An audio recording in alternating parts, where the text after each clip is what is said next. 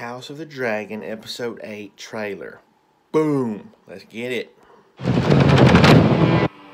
hand, I speak with the king's voice on this and all other matters. Tomorrow the Hightowers land their first blow. Those vipers rule in my father's name. To King's Landing, then. The sea snake has taken a grave wound in battling the stepstones. Who will take the driftwood throne? The crown cannot stand strong. The house of the dragon remains divided. This is a matter of blood, not ambition. This is a trap. Nephews? The threat of war looms.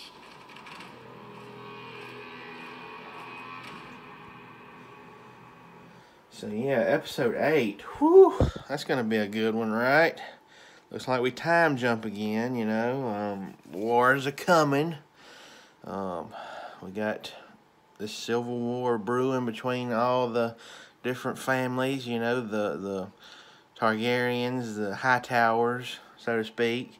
Daemon looks to be siding with, uh, you know, Rhaenyra on this, obviously, after last episode. Um, was who was Sir Criston Cole fighting? Was that Daemon? I couldn't tell. I hope so. That's gonna be. I want a rematch. I want a rematch after that first episode. Um, we see a older Aemond who is aged up. Uh, so we time jumping again, obviously. Man, oh man, I'm ready for this one. Episode eight. It's gonna be good.